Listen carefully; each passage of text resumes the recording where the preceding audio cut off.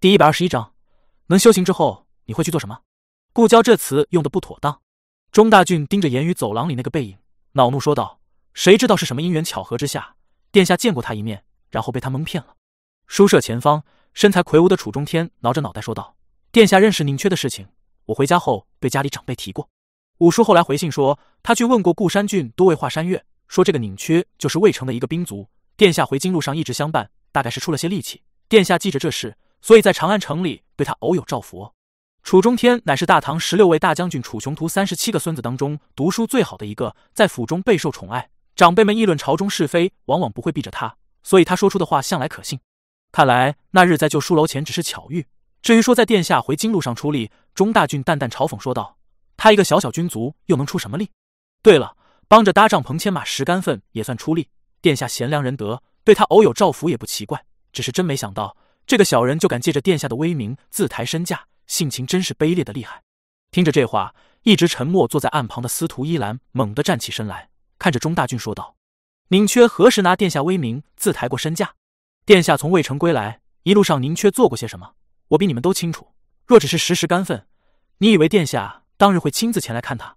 只见他柳眉一挑，沉声说道：“你说宁缺是小人，性情卑劣。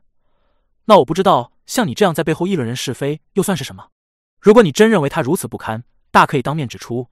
只可惜，就像他走前说的那样，你却是不敢，因为你还是怕他。”钟大俊脸色变得极为难看。断没有想到，在宁缺得罪了绝大多数同窗的情况下，这位长安贵女还愿意替他说话，强行压抑心头恼怒，分辨道：“我不是怕他，只是大家都是斯文人，难道还要和那少年蛮子卷起袖子厮打一场？”司徒依兰不愿与这个所谓才子搭话，回头望向正与谢承运拥拥轻语的同伴，眉头微蹙，没好气问道：“五彩，你回不回？”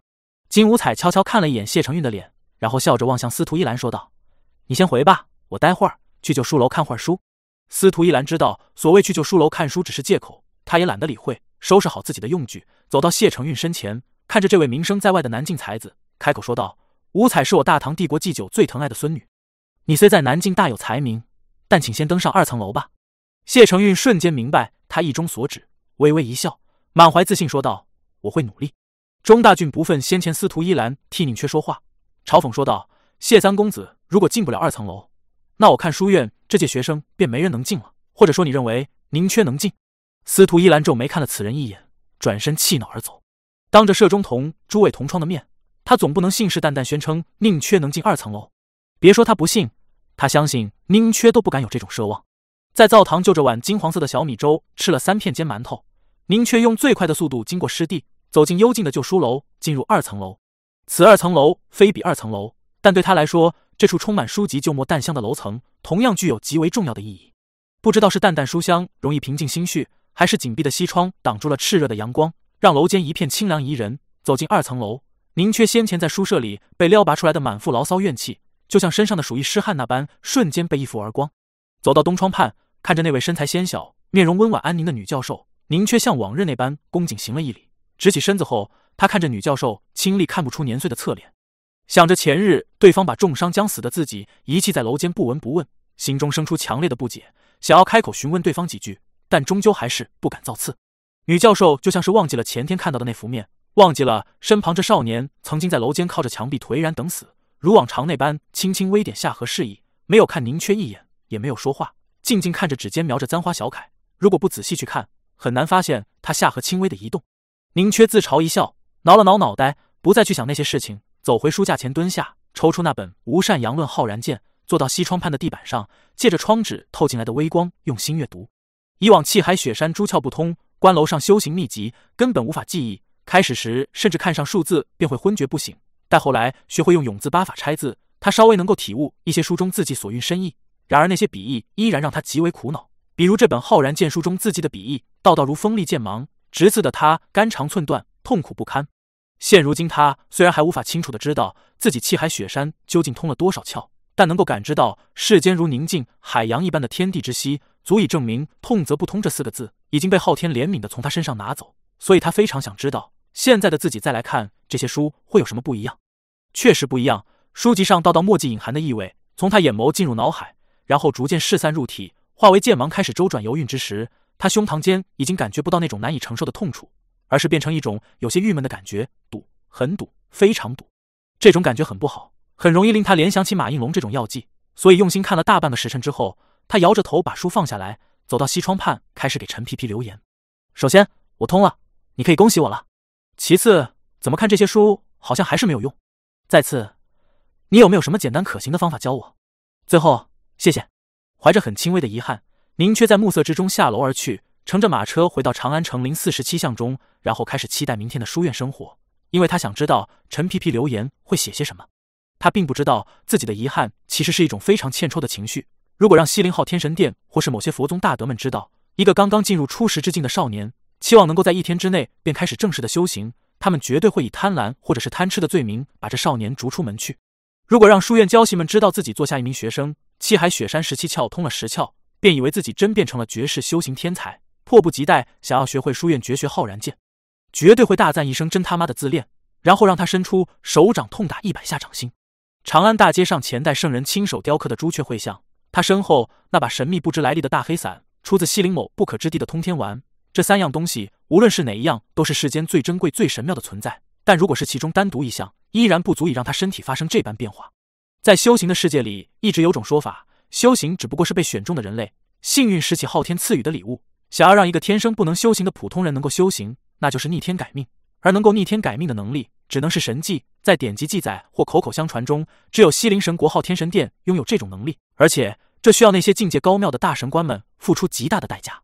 所以，当年名山旁那个普通修行者，军部负责考核的那位符师，旅途中的吕清晨老人，留书的陈皮皮，根本不需要犹豫，便能够简单的断定宁缺不能修行。然而，当朱雀、黑伞、通天丸这三样世间最神奇的存在，同时和宁缺发生关系时，世间缓慢转动的命轮。发生了一次极轻微的颤动。那个漆黑的清晨里，先是修行者严肃清用毕生修为击溃了他胸口处的骨肉防御，然后朱雀顶翅化为一根无形长矛，通过这处窗口刺穿他的气海雪山。紧接着，朱雀以无形火翼焚毁触及的一切。至此时，宁缺便应该死了。大黑伞在此时起了关键作用，像蔽日的柳荫般护住他最后的生机，又以源源不尽的夜空阴寒力量重塑他体内的雪山。仅仅这般还不足够。因为这个重新构筑的体内微观世界是那样的脆弱不稳定，随时可能崩溃。这时，陈皮皮像处女奉上贞操一般，奉上了一颗通天丸。天道酬勤，大概是他前十余年过得太苦太累，所以昊天开始弥补他吧。宁缺并不知道自己遇见的是世间最神奇的幸运，就算知道，他也无法明悟其间的道理。被逆天改命的他，犹自不满遗憾。这种不满遗憾，真的很令人愤怒无语。陈皮皮很无语，很愤怒，看到“恭喜”二字。猜到那个家伙居然被强行逆天改命，真的踏上了修行之路。陈皮皮忍不住张大了嘴，半天说不出话来，强烈怀疑自己的眼睛是不是花了。他也不知道长街之上朱雀会像和大黑伞那场以宁缺身体为战场的神奇战斗，但作为西陵与书院共同培养出来的绝世修行天才，能够猜测到一些原因和后果。可无论他怎么去猜测，都没能猜到宁缺居然能够获得这种近乎神迹的机缘。震惊持续了很长时间，他完全不知该如何言语。骄傲却又温良的内心深处，竟生出一股强烈的羡慕、嫉妒情绪。而当他看到纸上留言时，更是难以抑制的愤怒起来。暑意燥热，虽然时入深夜有风清凉，西窗外蝉鸣渐弱，但不知道是因为太过肥胖，还是愤怒的原因，陈皮皮浑身大汗。他解开衣襟泼墨，愤怒回书道：“首先，我不想恭喜你，因为这事儿太荒唐、太不可理解。其次，不是看书没用，而是你这个修行白痴没用。再次，我承认自己这时候很嫉妒你，所以不想指点你。”最后，请先谢昊天和你十八代祖宗。至于我，谢你妹啊！很小很小的时候，是真实的很小很小的时候，您却一直在被一句话洗脑。那句话大概意思是这样的：一个人掌握的知识就像一个圆，你知道的事情越多，这个圆越大，那么你就会发现自己不知道的事情越来越多。他曾经很厌烦这句话，不理解母亲和老师们为什么要不停用这种悲观主义论调教育自己。但当他现在终于踏进修行的世界后，发现这句话确实很真实。真实的令人无比惘然无措，因为他发现自己不明白的事情更多了。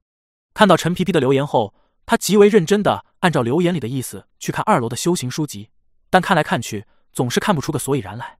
这辈子习惯了背着三把刀在草原上四处杀人这种比较直线条的思维模式，倒也不算是坏事。确认暂时无法前进，宁缺便决定不再去想，而是去做些更重要的事情。没有人能够想到，在确认能够修行之后，宁缺做的第一件事情是什么。他没有整日里提着酒壶高歌泼墨作书，没有去找书院教习高喊俺能了俺能了，强烈要求进入术科精修，更没有去公主府找李鱼舔着脸说：“俺现在很有投资价值了。”除了和桑桑两个人闷在老笔斋里暗自高兴，像两个傻瓜般时不时抬头互视一眼，然后莫名其妙的呵呵直笑。他也就是向陈皮皮嘚瑟了两下，然后他就去了南城。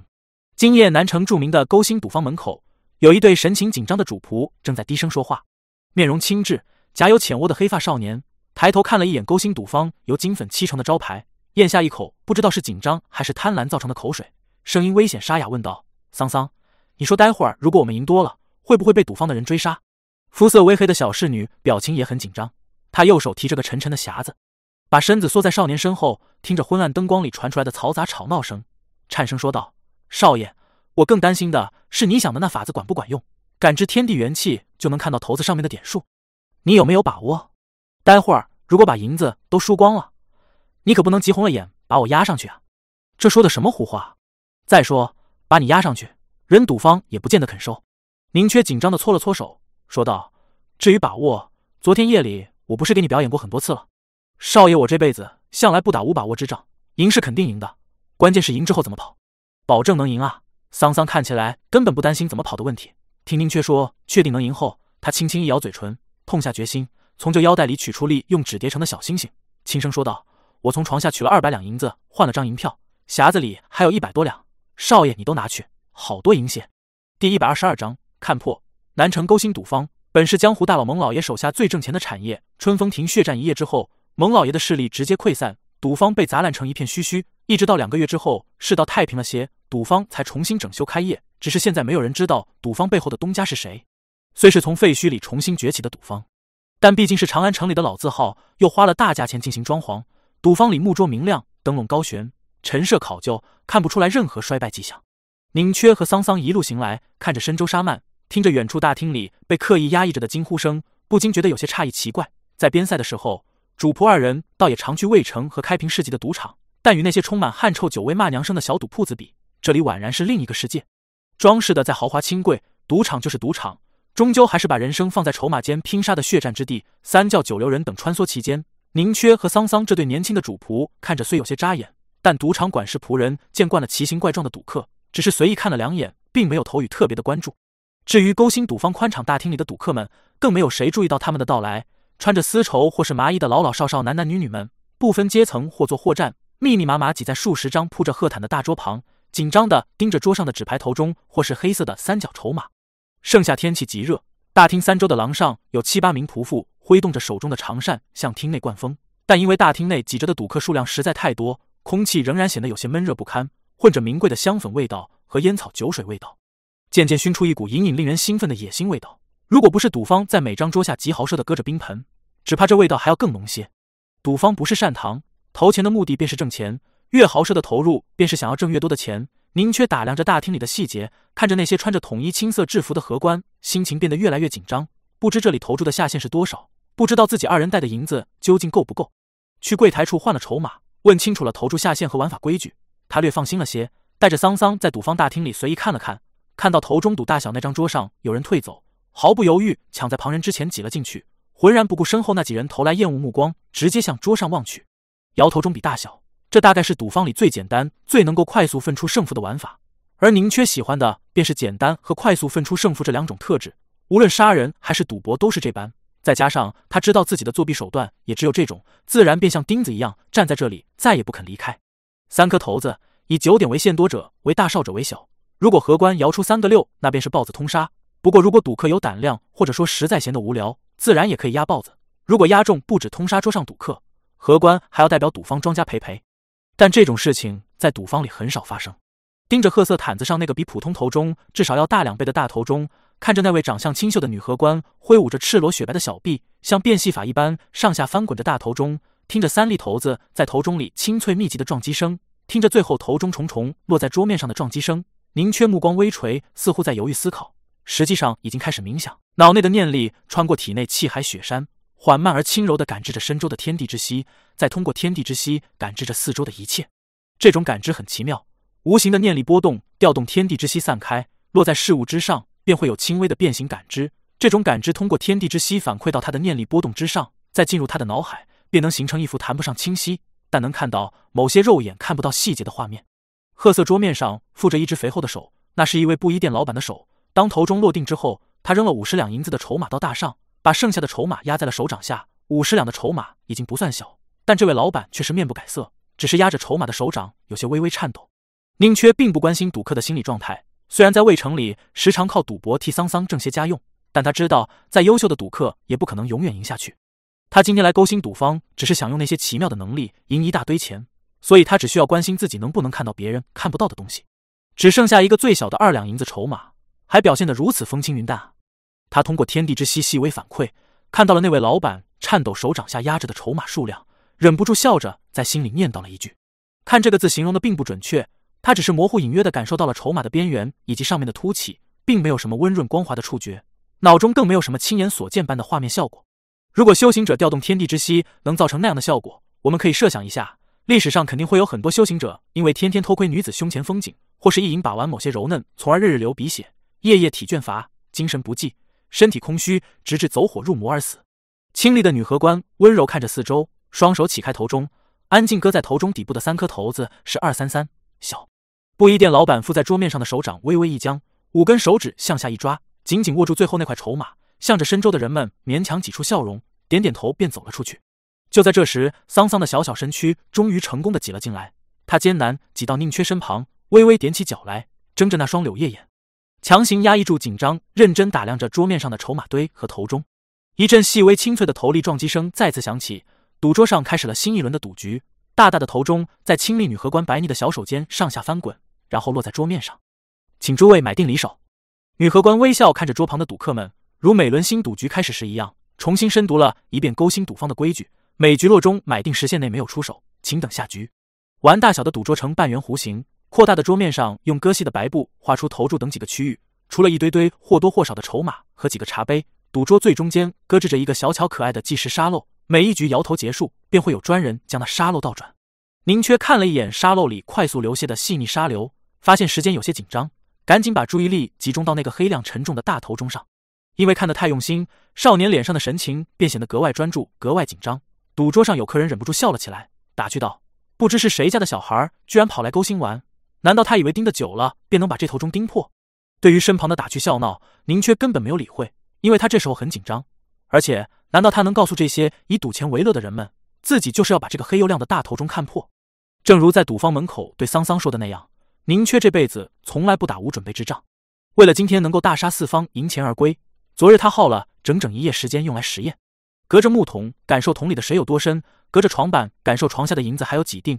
隔着窗户感受窗下蹲着的桑桑是睁着眼还是闭着眼。通过反复的训练，他确认自己能够控制的那抹微弱天地元气，用来撼泰山固然不可能，但用来看泰山应该没有太大问题。这才底气十足的来到勾心赌方。至于冥想感受整整一夜，让他调动天地元气的速度和熟练度都得到了极大的跃升，反而是出乎他意料的好处。按照事先在零四十七项里主仆二人拟定的作战计划，根据那些少得可怜的实战经验。宁缺本已望向那个黑色头中望时，自己脑中念力控制的那股微妙天地元气能够轻易的穿过头中厚实的中壁，然后感受到头子表面美妙的凹陷。然而他万万没有想到，自己控制的天地元气刚刚进入头中后壁，便再难进入一分。宁缺身体骤然一僵，震惊看着黑色的大头中，不明白究竟发生了什么。此时赌桌中央那盏可爱的小沙漏下部已经快要积满沙粒，桌旁有性急的赌客看着他的模样，开始急声催促。他愁苦无措的看着黑色头中。分析到底哪里出了问题？按照他的行事习惯，这局就应该放弃。但不知道是被沙漏和催促声逼得急了，还是心中强烈不甘起了作用，他竟是不肯放弃，死死盯着头中，蹙着眉头，拼命提升念力强度，控制天地元气向铜墙铁壁般的头中里刺去。给我破！被念力压缩到极致的天地元气，仿佛变成了一根尖锐的无形细针，终于噗的一声扎了进去。感受到那股热刀入黄油，手指入奶油般的美妙触觉。看到头中底部安静躺着的三颗头子，宁缺脸色骤然一松，紧蹙的眉眼渐渐舒展开来。就在沙漏漏完之前，他拿出那颗银票叠成的小星星，轻轻搁在赌桌压大的那一方。清丽荷官微笑看了他一眼，缓缓抬起头中，四五六，大银票叠成的小星星被女荷官用纤细手指细腻摊开，然后压在赌桌中央，向诸位赌客公示，然后把宁缺赢的银子用细竹尺推了过来。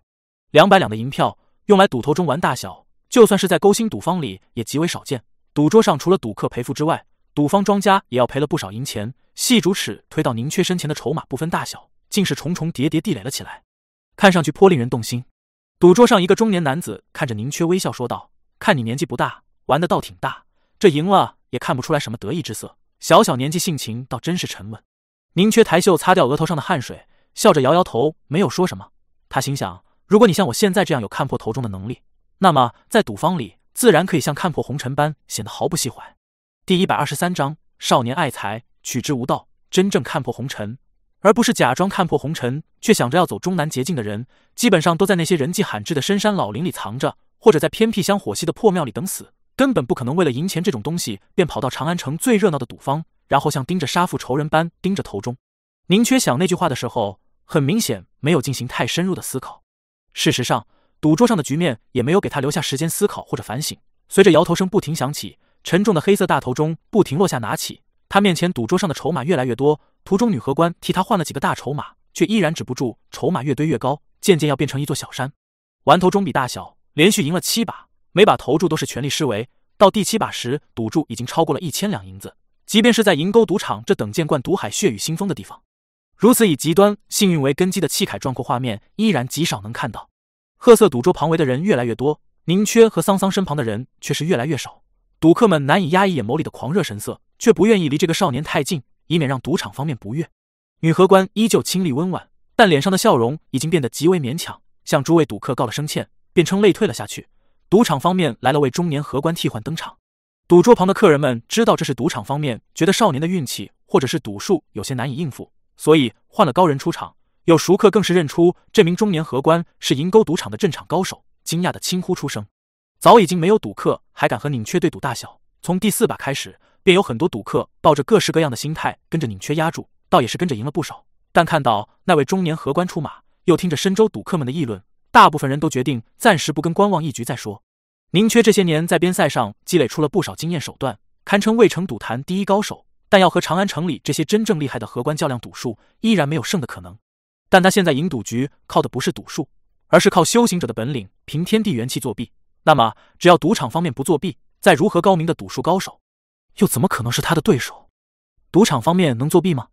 当然能，但银沟赌场是在长安府登记册上排前三的著名场所，毕竟不是开在那些花柳陋巷里的黑暗小赌档，不到万不得已境地，断然不会动用那些手段，所以他们还是只能眼睁睁看着宁缺赢下去。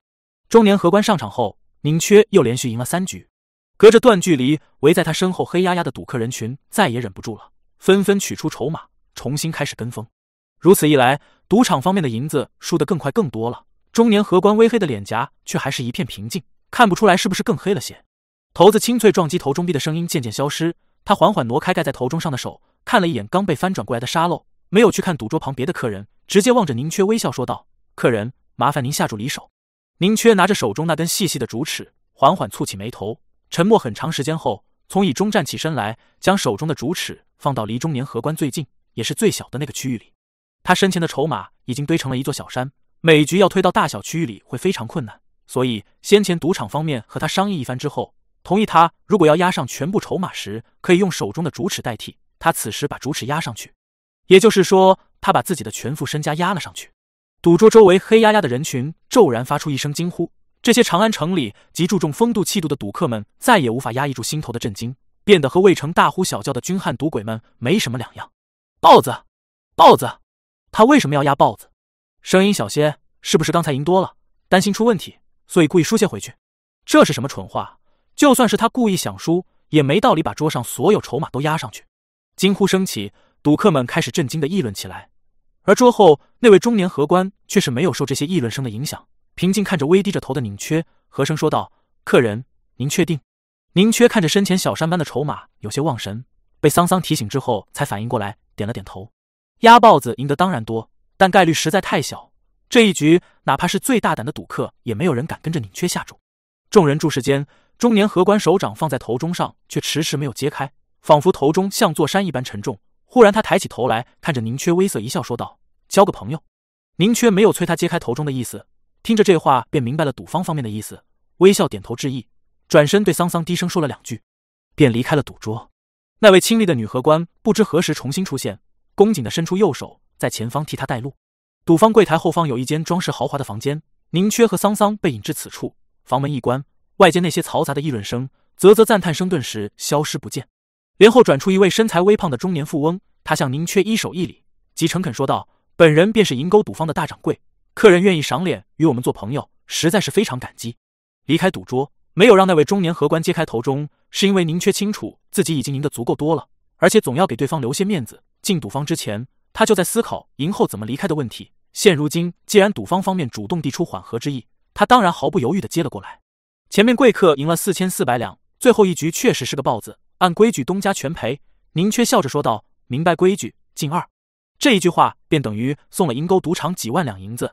银钩赌方大掌柜脸上的表情顿时变得更加温柔，感慨说道：“朋友做事实在大气，那本人自作主张给您添个整数，算是代表赌方和东家向您聊表谢意。”大掌柜满脸和气说道。如果让往年那些见识过他阴雾狠辣嘴脸的敌人看到，此人对一个赢了自己一万多两银子的赌客如此客气，绝对会吓一跳。片刻后，赌方方面把宁缺今日赢的筹码全部换成银票送了过来。在第一时间里，他用严厉的眼神阻止住了桑桑双眼发光想要数银票的动作，但余光里瞥见那厚厚一叠银票上的一千两的数字，自己也忍不住觉得唇舌有些发干。大掌柜微笑说道：“以后欢迎您随时来玩。”您客气了。宁缺知道对方没有名言。却是在委婉劝告自己，既然做朋友，那就不是赌桌上的关系。欢迎随时来玩，就是不欢迎的意思。以后这银钩赌坊，您还是别来玩了。就在他带着桑桑准备离开银钩赌坊的时候，大掌柜却像是刚刚想到一件事情，笑着建议说道：“您如果觉得还未尽兴，我倒有个好建议。西城那处最近新开了家赌坊，是俊介老爷以前典当行改的，那还真是个好去处。”这话里隐着的意思很隐晦，大掌柜猜测这少年一定有背景，应该能猜到自己话里的意思。但他没想到，宁缺虽然没有什么背景，可听着俊介这名字，想起春风亭那夜草小树的介绍，便瞬间明白了他的意思。现如今长安城的黑夜世界是鱼龙帮的天下，俊介老爷已经完了，他名下的典当行改成赌坊重新开业，就像现如今的银沟赌坊一般，身后没有了靠山。你宁缺既然敢在我银沟赌坊赢这么多银子，再去西城赢上一场又有何不可？站在窗畔，看着那对年轻的主仆向着西城方向走去，渐渐消失在夜色里。大掌柜忍不住蹙起眉间，摇了摇头，心中满是不甘与恼怒。房门开启，中年荷官抱着那个沉重的大头钟走了进来，看着大掌柜的背影，沉默片刻后叹息着说道：“那少年确实是个修行者。”中年荷官是蒙老爷当年从大和国请过来的赌术高手，平日里只负责镇场，极少出手。今日他被迫亲自出马，却还是输了个痛痛快快。摇头子这种事情，庄家极占优势。他相信世间没有任何赌术高手能在自己坐庄的前提下还能赢自己。而且任何老千都不可能瞒过自己的眼睛，那么那个少年究竟是怎么回事，便很清楚。想着最后自己摇出了个豹子，为了维护赌方颜面，竟是被逼得不敢开中，他的脸色变得更加难看起来，摇头说道：“就算是修行者，我们也太客气了些。蒙老爷已经死了，咱们赌方能重新开起来，全靠宫里那位陈六爷怜悯蒙老爷留下的孤儿寡母，还有帮里那些兄弟没处吃饭。现如今我们要夹着尾巴做人，哪里还敢闹事？更何况你也知道那少年是个修行者。”难道你我还能把他怎么地？大掌柜声音低沉，把他训斥了一通，然后毫无预兆抓起桌上的黑色头钟，砰的一声直接摔碎。只见破碎头钟里有一道金黄色的夹层，夹层上面隐隐刻着些花纹。头钟里有软金夹层，上面刻着符文。大掌柜阴沉着脸说道：“那个少年能把头钟看破，那至少是入了十境的修行者。你我除了乖乖送上银子，还能有什么招？”中年荷官怔住了，常年坐镇赌场。交友广阔，耳听八方。他虽是个普通人，却也知道修行者的境界分际。想着那少年如此年轻，难道已经进入了不惑之境？这样的人物来赌场作甚？他愤愤说道：“我倒要看看他去西城还敢不敢这么放肆。俊介老爷虽然死了，但那新厂子身后靠山却不是普通修行者敢惹的。”大掌柜没有接他的话，只是盯着桌上头中残片在看，看着头中残片里夹着的软金，看着那些符文，越想心里越不痛快，喃喃说道。大唐开国这么多年，就没听说过几次修行者靠欺负赌场挣钱。因为对那些人来说，这么干实在是太跌份儿。一个踏入十境的修行者，他不去山门冥想苦修，不去与同道交流，不去名山大川游历，不去感悟天地之息，却他妈的跑到赌场来赌钱，这算什么？大掌柜抬起头来看着窗外的夜色，悠悠说道：“这是欺负人啊！”桑桑就腰带里那颗二百两银票叠成的星星，现在已经变成了厚厚一叠银票。塞在腰间，鼓囊囊的，有些难看，但他却是毫不在意，时不时傻乎乎的笑两声。少爷，咱们真的还去西城那间赌坊吗？当然要去，这种挣钱的法子只能用一次，那就让我们一次挣个够。照道理说，像宁缺这样经历过无数次生死险境的人，应该很明白见好就收、适可而止的道理。然而可怜见的他，终究还是穷了太久太久。如今忽然发现了这么个挣钱的好法子，就像月轮国西边放了一辈子羊，却连羊肉都吃不起的穷困山民，忽然发现了一个能不停跳出黑羊的宝盆，哪里能够忍得住不用？就算是在繁华长安城中，一万多两银子也毫无疑问是笔巨资。而这笔钱如果放在草原上，足以让疏碧湖旁的马贼们不等宁缺举刀，便纷纷跳马自杀；如果放在魏城里，足以让那些想把桑桑娶进门的大婶们无视宁缺脸色，抬着花轿就来抢亲。那叠厚厚的银票直接冲昏了宁缺的头脑，就连桑桑此时瘦而平的小小胸怀里也满是壮阔之气，恨不得把长安城所有赌坊都赢上一遍。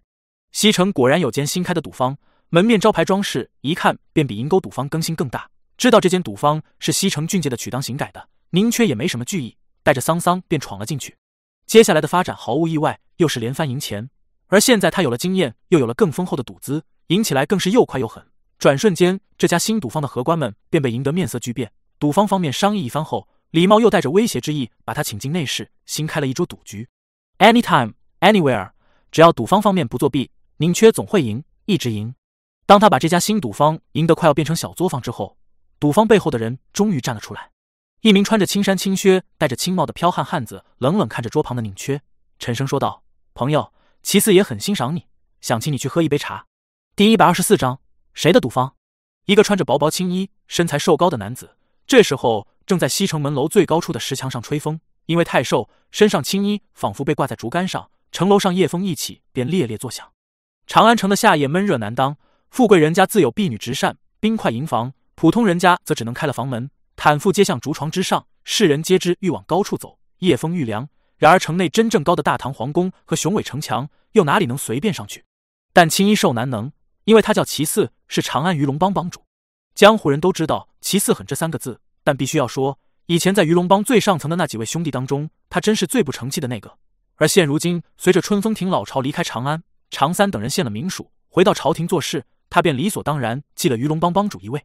如今他随便一声令下。便有三千青袍为之誓死效命，加上现在谁都知道鱼龙帮乃是陛下当年扔在江湖里的一条鱼，即便是官府也不敢太过怠慢。齐四爷毫无疑问是长安黑道唯一的领袖，上得城楼观风景，又何足道哉？然而此时面迎夜风，提着壶酒的齐四没有任何骄傲得意情绪，反而面色暗淡，饮一口酒，叹一声气，成功由一位普通黑道领袖化身为文艺黑道领袖。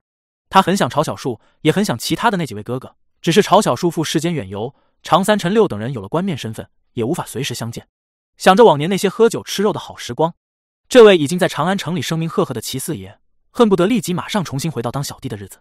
便在这时，城墙上远处行来一人，与城门军打了个招呼，匆忙跑了过来，低着头惭愧的在齐四耳边说了几句话。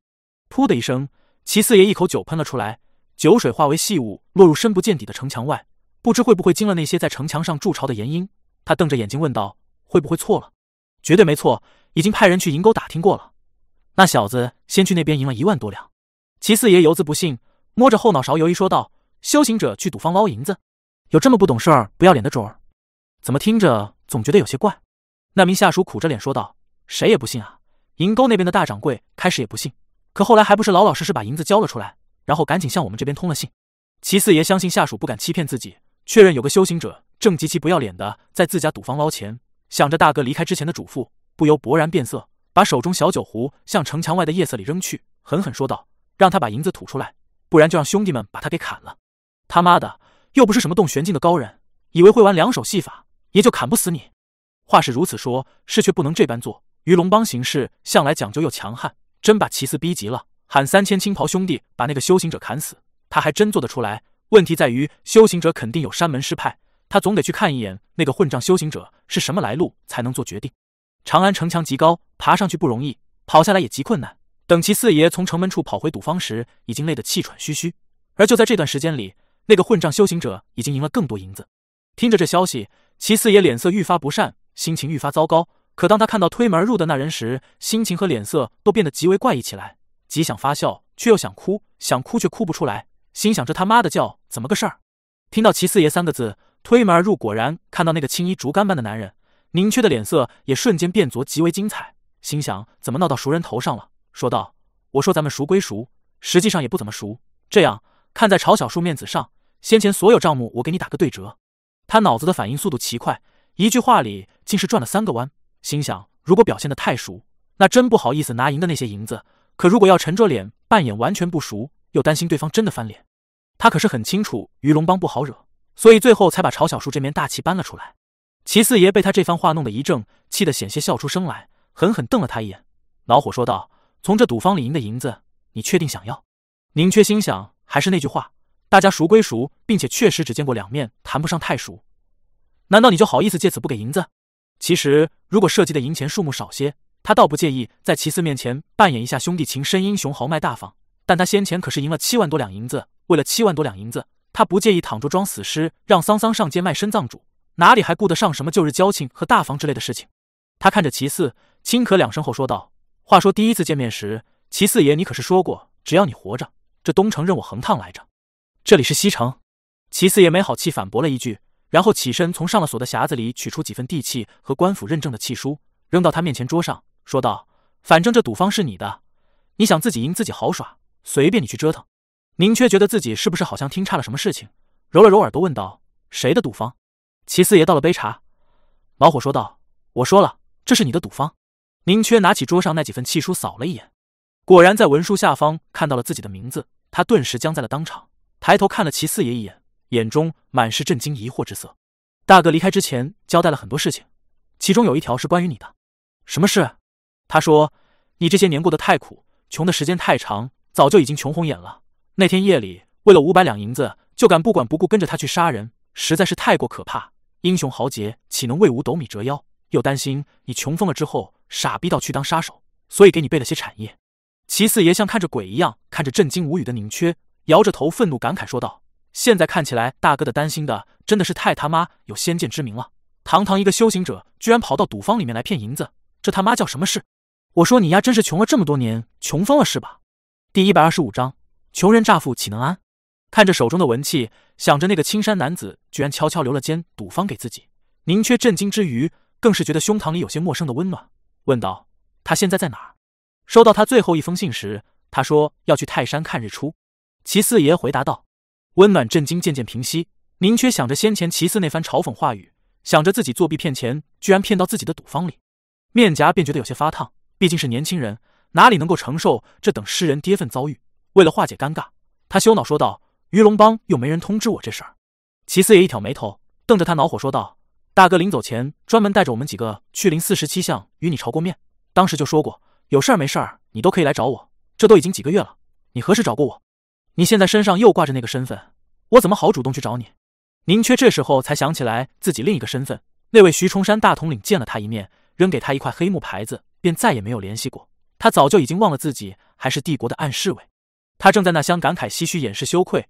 齐四爷却是想起这件事情里某个蹊跷处，刚刚平静下来的眉梢猛地挑起，震惊看着少年说道：“是一个修行者。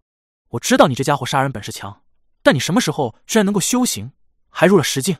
刚发生没两天的事情，不过是个初始水准，离石境还差着十万八千里。”宁缺并不知道勾心赌方那个黑色头中里的福金夹层，老实回答道：“原想着趁没人知道的大好时机多挣些银两，现在虽然挣不成了，但还请帮着保密。”齐四爷声音变得尖细，烦恼起来：“你赢了勾心一万多两银子，这事儿怎么保密？长安城虽然大，但带着个小黑炭头侍女跑的人可不多，只要稍一打听，就能把你查出来。”宁缺笑了笑，温和说道：“您现在可是长安城里的老大，像这种小事，还不是您一句放圆事儿？勾心赌方，难道还敢违背你的意思，继续去查我？”齐四爷被他这句不轻不重的马屁顶得无法拒绝，皱着细细双眉想了阵，说道：“瞒着倒不难，不过隐瞒修行者的身份，又是个什么意思？”难道你还指望这事儿发酵变大，最后替你在帝国里挣些名头？如果是这意思，我劝你最好不要这般想。长安城毕竟不是乡下地方，随随便便也能找到千八百修行者出来，你没办法太过显眼。照我看，你还不如老老实实向书院教习说明，得些实在的好处更重要。宁缺想着传说中明年可能会开的书院二层楼，想着此时正在遥远边疆替帝国开疆辟土的夏侯大将军，沉默片刻后笑着回答道：“就因为知道自己太普通，所以何必说出去徒惹烦恼？”日后某日能在这条路上走得更稳更远些，再说出来也无妨。你又不是我鱼龙帮的人，自己的事情想怎样做都随你。不过既然今天难得碰见你，有些事情还是得赶紧把手续办完。齐四爷伸出细长手指，点了点他面前的地契文书，说道：“有一份转让协议需要你签名，从此以后这间赌坊就转到你手上，我再也不用耗精神带你管。宁缺心想，这可不行，开个赌坊要人要钱还要背景，自己要在书院读书，总不可能让小桑桑穿着荷官服来看那十几张赌桌。眼珠子微微一转，舔着笑脸说道：“好哥哥，您就再耗些精神管下去吧，我是真没这能力，也没这时间啊。”一番争执之后，齐四爷终究未能敌过宁缺的连番马屁和赖皮精神，无可奈何的答应了他的条件。赌方依旧算是宁缺的，但托管在鱼龙帮之下，宁缺什么事情都不需要做，就按着双方商议好的比例，每月拿分红便是。商议完毕，没有吃宵夜，也没有喊姑娘过来玩耍，宁缺在第一时间内带着桑桑离开了这家西城新开的赌坊。他走得如此着急，就像是在逃亡一般，甚至回到零四十七巷家中，才想起来自己连那家赌坊的名字都没有记住。桑桑从腰带里取出那叠厚厚的银票，放进匣子里铺平，四处打量着简陋的卧室。柳叶眼里的目光在梁柱和老鼠洞里不停游移，心思也不停游移，想碰上应该放在哪里最安全。终究他还是按照老法子把床板掀开，小心翼翼把匣子藏了进去。回头他看见宁缺坐在圈椅上发呆，他脸上的神情很复杂，很奇妙，像是被天上的聚宝盆砸傻了，又像是被砸得过重，痛的想要哭。少爷，你今天有些古怪。桑桑看着他，好奇问道：“刚才就是离开赌坊的时候，像是欠了人家八百两银子般，狼狈的厉害，能不狼狈吗？”今儿算是丢人丢大了，我这辈子还没干过这么二逼的事。宁缺恼火回答道，忽又想着床板下那匣子银票，脸上的羞恼之色顿时被欢愉之色代替。不过如果每次都能挣这么多银子，让我一直二逼下去，我也愿意。说完这番话，他把脸上笑容一敛，伸手示意桑桑坐在身前的小板凳上，用极为严肃认真的语气说道：“我觉得有必要开一场家庭会议了。对于宁缺来说，家庭会议这种事情是他前世最铭心刻骨、最难受的经验之一。”大概是潜意识里受了严重的影响。这一世的小家庭虽然始终只有他和桑桑主仆二人，但无论是在名山草居还是渭城小院，他经常会提醒开家庭会议。桑桑知道少爷又要开始滔滔不绝说胡话，极有经验的先去拿了针线袋，然后换了双棉布制成的舒服拖鞋，才坐到他身前的小板凳上，恭敬等着训话。学院每间书舍窗户中间都悬着一些前贤格言名句，虽然我认为那字写的不咋样，但那些格言名句里的意思倒还不算太错。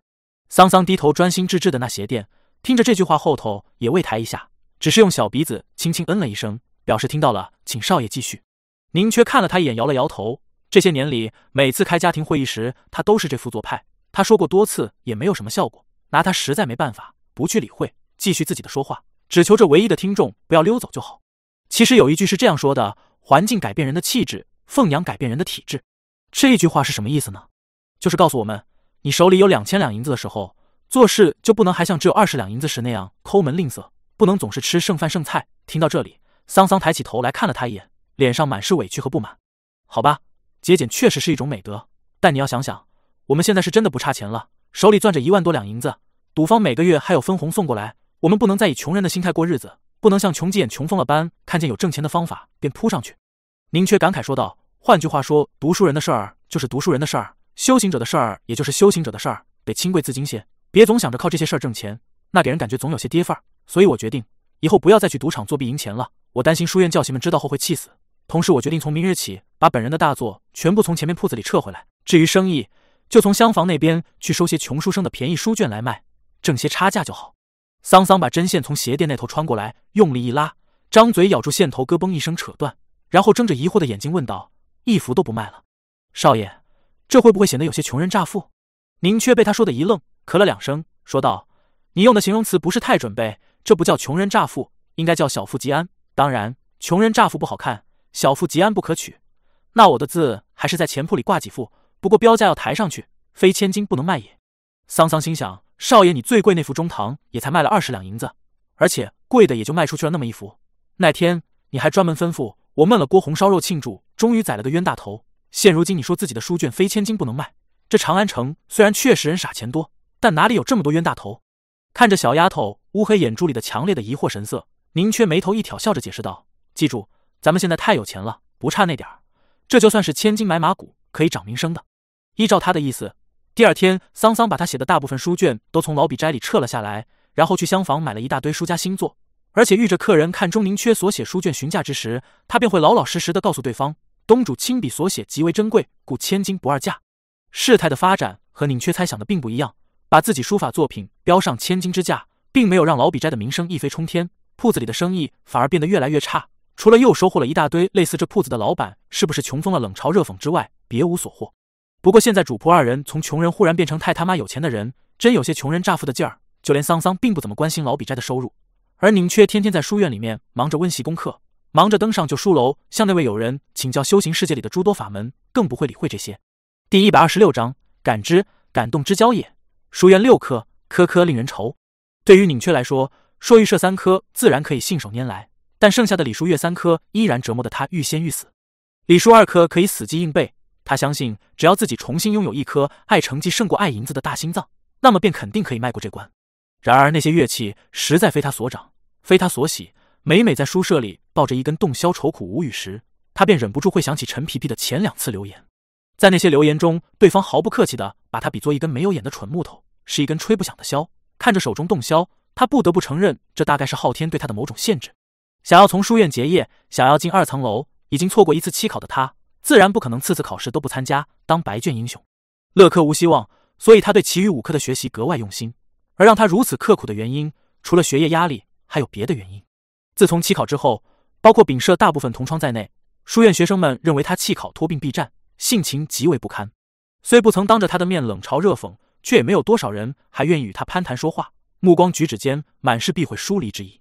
被无视、被刻意冷落都无所谓，他本就不是一个会用热脸去贴对方冷屁股的人。被隐隐排挤在书院集体之外，那他便认真温书便是。只是有时候，一个人形单影只行走在书院中时，他的心情还是会有些低落。此时，他便会拿前世当了省级三好学生后，受到同学们冷漠眼光的遭遇安慰自己。所谓木秀于林，风必摧之；堆出于岸，流必湍之；行高于人，众必非之。所谓出头的船子总是先烂，圈里最肥的那头猪，呸！像漫着浅水、积着如发细细青草的湿地里，狠狠吐了口唾沫。宁缺扬起下颌，抢先无视迎面而来，想要无视自己的两名同窗。提着手中的纸袋，悠悠然走向旧书楼。走上旧书楼二层，向女教授恭谨一礼，把手中的纸袋搁到西窗畔的案几上。他走到书架前，目光在那些密密麻麻的修行书籍上掠过。如今他虽然已经能够感应到天地之息，甚至凭此去赢了很多银子，但很遗憾的是，这些书籍对于他来说依然像无字天书般难懂，只能记住笔画，却依然无法在脑海里存住任何一个字。拿了一本厚厚的《万法鉴赏大词典》，坐回西窗下地板上。从窗户缝隙处看了眼楼外炽烈的阳光，便开始没滋没味的看了起来。时间一分一秒流逝，他用永字八法看到第十七页时，窗缝间的炽烈阳光悄无声息消失不见，夜色笼罩了旧书楼，但他却没有起身离开的意思。东窗畔那位智力女教授完成了今日的簪花小楷，收拾好笔墨纸砚，轻轻揉着手腕站起身来，看见宁缺靠着墙壁看着厚厚词典发呆，不由温婉一笑，没有提醒宁缺天色已经晚了，就这样安静的走出了旧书楼。夜色渐深，书架上的符文泛起一道若有若无的光泽。宁缺没有被吓着，而是盯着那些符文认真观看，看着那道光泽转瞬即逝，符文回复百里是微尘粗陋模样，然后看着书架贴着墙壁，悄无声息的划开，一个胖子少年气喘吁吁的钻了出来。这是无数次流言互损之外，宁缺和陈皮皮第二次见面。那个深夜第一次见面时，宁缺正处于垂死边缘，昏迷不醒。清晨醒来后也过于疲惫，没有仔细看这家伙究竟长成什么模样。今天他却不肯错过这个机会，睁着明亮的眼睛看了半天。我说：“你长得真够胖的。”宁缺看着陈皮皮，啧啧赞叹道：“真不知道这十六年里你都吃了些什么，居然能胖成这副模样。不过还好，你胖得够圆够结实，看着不怎么猥琐恶心。不过有件事情我真的很不理解，你真是书院百年来入院士唯一考六科甲上的天才少年？预科你也考了甲上？军部从哪儿能找到一匹军马，能载得动你，还能跑那么快？”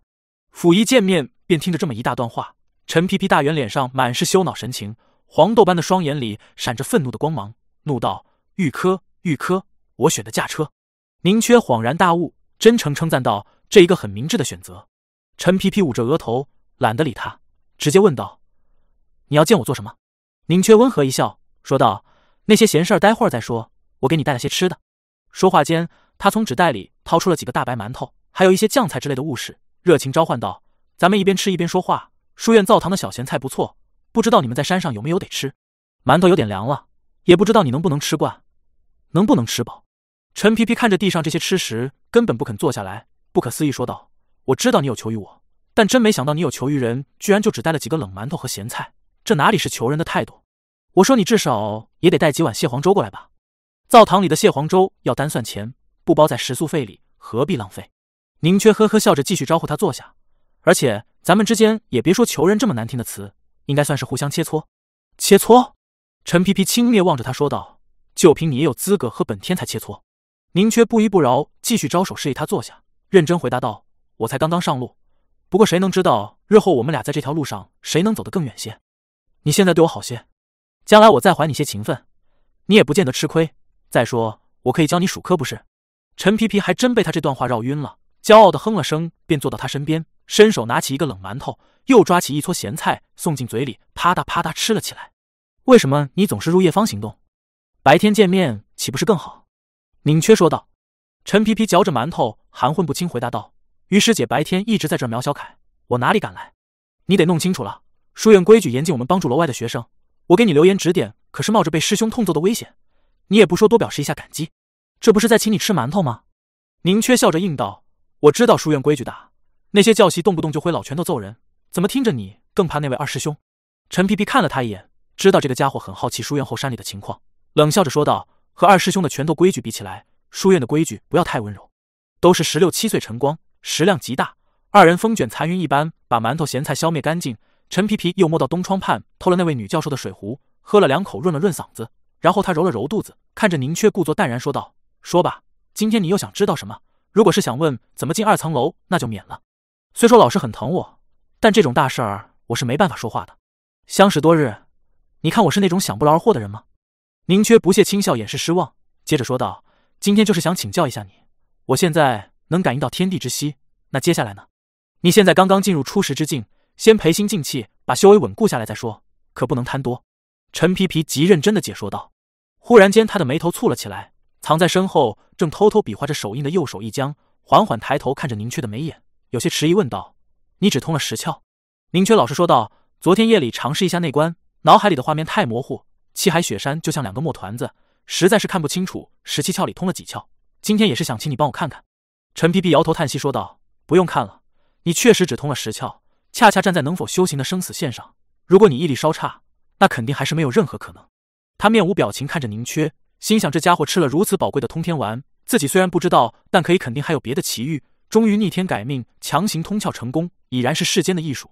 然而如此艺术，最后却依然只通了十窍。乃下下之资，实在有些遗憾和令人同情。宁缺脸上没有流露出悻悻之色，微微一怔后笑着说道：“总比一窍不通要强不少。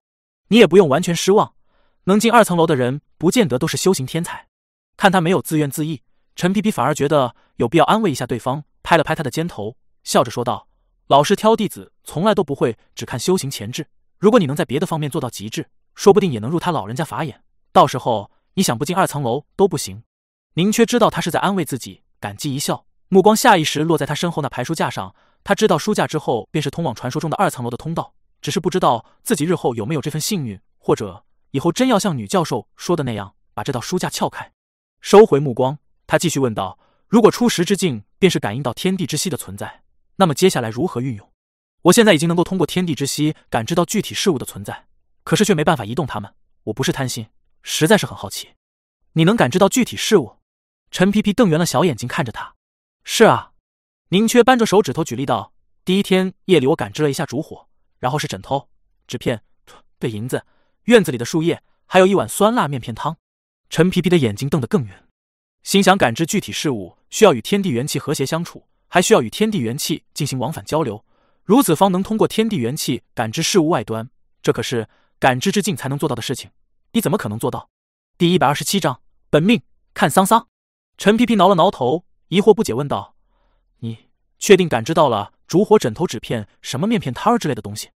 你确定当时没有睁着眼睛？”见他明显不信，宁缺蹙眉解释道：“确实没睁眼，而且隔着墙壁床板，就算睁着眼也没办法看见。对了，昨天夜里我去南城沟门头沟一朋友开的赌坊去玩了会儿，能够隔着头中清楚感觉到头子上面的凹陷，这难道不算感知吗？隔着头中看不到，那自然是算的。”陈皮皮偏头若有所思，打量着宁缺。宁缺没有注意到他的目光有些异样，想着昨夜赌坊里的遭遇，想着答应了齐四爷和桑桑以后再也不靠那法子作弊挣钱，心中不自禁生出股不甘情绪。回望着陈皮皮欲言又止片刻后，终是忍不住低声问道：“有没有法子隔着头中拨动头子？”陈皮皮悚然一惊，像看鬼魂般恨恨盯着他，愤怒斥道：“被逆天改命，终于可以修行，你就只想着去拨头子作弊？世间有你这样的人吗？真是暴殄天物啊！此时此刻，这名本来就对昊天眷顾宁缺极为羡慕、嫉妒恨的少年修行天才，终于再也无法压抑住心中的情绪，挽起袖子便想把他痛揍一顿。见他动作，宁缺连连摆手辩解道：“我是想着，如果能隔着头中拨动头子，那也就等于可以调动天地元气去操控别的物事。只是找一个通俗易懂、老少咸宜、雅俗共赏的例子加以说明，何必这般生气？难道我还真能二逼到用天地元气去赌博不成？”听着这解释诚恳可信，陈皮皮气呼呼重新坐了下来，又恼怒的瞪了他一眼，才耐住性子解释道：“初始感知为虚境，只能感受天地元气或与之交流，却无法通过天地元气影响真实的世界。只有进入不惑实境后，修行者才能凭借精纯念力凝缩天地元气为线或桥，隔空触动外界事物。剑师操控飞剑，武者隔空伤人，便是这个道理。”宁缺若有所思：“不错。”陈皮皮继续说道：“你若想隔着头中控制头子。”首先就要先入实境，不惑是第三境界。宁缺摇头叹息说道：“我短时间内哪里能够达到？”陈皮皮神情古怪的看了他一眼，也懒得说破某些事情，说道：“就算你入了实境，也不可能想要利用天地元气操控什么物事便能操控。有能力操控万物的修行者，那都是真正的大修行者，突破了某些隐形的规则才能做到。难道说不惑境界的修行者控制外物还有什么讲究？当然有，以前听你说也曾经见识过修行者的战斗。”那你可曾见到剑师一仙一金便露出三排小飞刀？你可曾见到那些佛门弟子搞三万六千座铜佛出来砸人？宁缺回忆春风亭那夜朝小树杀死的那两名修行者，那位南境剑师确实只有一把剑，剑折之后便是人亡。那名月轮国的苦行僧身旁武器倒是多些，但也只不过是一个铜钵和一串念珠。不惑乃至洞玄境界的修行者都有自己的专属感知之物。你如果要从虚境步入实境，首先也是要以念力培养自己的专属感知之物，也就是本命物。宁缺疑惑问道：“本命物是什么？我只听说过本命年。剑师之剑为本命剑，符是有道最重要的本命符。这时的剑与符便是本命物。那念师的本命是什么？如果你只能明白通俗的阐述方式，那你可以理解为念师他自己。”陈皮皮恼火回答道。忽然他想起宁缺先前提到的那词，疑惑问道：“本命年是什么？省略号你知道是什么吗？”“不知道，我也不想知道。至于修行者为什么要有自己的本命物？”首先，你要明白两点：一，天地元气充斥在世间，哪怕是最微小的空间里，一颗顽石、一株枯柳、一泼湖水里面，都有他们自身的天地元气；二，修行者控物，并不是靠天地元气直接去影响世间的物质，而是要通过天元气为桥，把自己精神世界产生的念力传递到物体之上，然后引发物体内部的天地元气震动。插句话，既然如此，那为什么非要有专属的物体？还是最开始留言里举的例子。修行者体内的念力就像是气息，血海气山是箫管是丝竹，只有吹拂发出声音，让天地元气听到听懂，才能感知到天地元气。但问题是，每个人的箫管丝竹音质并不相同，天地间宽泛的元气能听懂，不代表那些湖木石水里的天地元气能听懂或者说爱听。修行者找寻培养自己的本命物，就是寻找能听懂并且非常听自己曲子的对象。这么白痴的解释，你听懂没有？大致上懂了，是不是就像共振的道理？共振又是什么？陈皮皮疲惫的揉了揉胖脸，不理会此人无趣的打岔，继续说道：“修行者进入实境时，能找到的本命物与自己的气息越吻合，日后境界提升便越容易。但要找到和自己气息完全吻合的本命物，实在太难。所以很多修行者选择在上面克服扭曲物体特质，再以自身念力培养多年，直至心意相通。”想起吕清晨老人在车中说的“剑师统师”之类的名词，宁缺明白陈皮皮说的是真话，挠了挠发痒的手背，好笑问道：“也就是说？”我想成为一名剑师，首先得去弄把好剑，然后天天抱着它睡觉亲热，最后培养出来一点感情。你要理解的这般白痴下作也随你。陈皮皮没好气道：“喂，是你先说的，心意相通好不好？”宁缺挥了挥手，然后忽然想到一个重要的问题：一个人最多能有几个本命物？你的本命物是什么？我的本命物凭什么告诉你？陈皮皮瞪着他说道：“能力越强，境界越精妙，能够体悟万物天地元气，分别越细微，自然便能拥有更多的本命物。”四洞玄上进精微境界或知命境界，只需要掌握树木气息便能控树，知道湖水气息便能操湖。但对一般修行者来说，为了保证效果，当然只会选择一个。如果我选择夜夜抱着剑睡觉，那还能分精神去控制头子吗？只要你有足够多精神去研究，像这种小东西随便玩玩，当然是很轻松的。喂，你怎么还想着这事儿？这不像是举例啊！就是举例，就是举例，你不要想多了。从深夜到清晨。十六岁的胖子少年为同样十六岁的修行出歌，不停传道授业解惑。完全忘记了书院的规矩和自己事先的自我提醒。他讲的很认真，对方听的也很认真。修行世界里的种种道理被用深入浅出的解析道出。自幼生活在地位崇高的西陵神国不可知之地里，离家后便在书院后山里天天冥想修行。十六年间不问世间俗事，不知勾心斗角阴谋为何物。天才的陈皮皮除了骄傲嘚瑟之外，圆滚滚的身躯里那颗心脏是那般的晶莹剔透、干净的，令人心动。自幼生活在凄风苦雨的名山草原难苟活之地里，四岁后便在血雨腥风间天天砍人杀人。十六年间经历无数生死，清新可喜下隐着警惕冷漠。不幸的宁缺这个夜晚，他并未如何动容，直到多年以后回忆起来，才明白当时自己是何其幸运。第二日，伴着暮色回到零四十七巷家中，宁缺吩咐桑桑关了铺门，准备晚饭，便回到卧房里，坐在窗边的圈椅上，看着狭小景院里那棵青青大树发呆。发呆就是冥想。他此时正将精神世界里的念力透过雪山气海缓缓散放出来，向着院内房内的事物逐一探去。按照陈皮皮教的法子，保持着一颗清明欢喜之心，纯粹随着念力自身的气息去寻找身周最能与心意相通的物事。微弱却纯净无比的念力从身体上散发出来，感受着天地间的那道呼吸波动，然后不停浮动。他感知到了窗台上星宿的鞋垫，感知到了树下那窝蚂蚁的爬动，感知到了床下匣子里的银票和银锭，感知到了很多事物。却始终没有感知到回应。天地元气存在于世间万物之间，依照陈皮皮的教导，万物内部的元气对于修行者念力的控制会有一种天然的抵抗。而如果物体能够感受到修行者念力气息里的亲善喜悦，如果二者的波动能够和谐共存，那么便会有所回应。亲善喜悦是不是应该去前铺寻些笔墨纸砚试试？正这般想着，忽然听到窗外传来桑桑哎呦一声叫唤，紧接着又是一串小铃铛似的清脆笑声。他疑惑推窗望去。只见正在井边打水淘米的桑桑背对着自己，小手正在腰后不停挥着挡着，急道：“少爷，别挠我痒痒痒！”隔着窗户，宁缺看着不停扭腰躲避的桑桑，震惊无语。如果说心意最相通的是自幼一起长大的桑桑，这倒说得过去。但难道自己要把他变成自己的本命剑？绝对不行！想着某个可能的画面，他倒吸一口冷气，连连摇头。如果真这么干，那来年遇着那位夏侯将军，自己被打得屁滚尿流之际。莫不成要捏着剑诀大喝一声？那贼子休要嚣张！看桑桑，第一百二十八章，书院里的天才们，生死关头可以看桑桑的，但不能看桑桑。宁缺称和坐在窗边看着小姑娘发呆，想着难道真的要去前铺逐次亲近笔墨纸砚，才能定下来本命物？但自己惯用的笔是毛笔，不是判官笔；墨是松墨，不是石墨；砚是泥砚只，是牙纸，这怎么能用来做兵器？再者说，这些都是读书人的事儿，让笔墨纸砚漫天飞着与修行者战。感觉总有些不妥。思考这些艰难问题的时候，他的手中握着个东西，不停捏弄。现在老笔摘银子太多，把银子铺满一床这种事情，桑桑做过。如今大部分都换了银票，银票自然没有银锭有手感。他留了块崭新的雪花银，每日把玩不停。雪花银微凉滑润，手感极佳。对于乍富的穷苦少年而言，要比那些什么桃核石球舒服无数倍。接下来的时间里，宁缺继续保持着那颗清明喜善之心，不停尝试寻找与自己念力气息契合的本命物。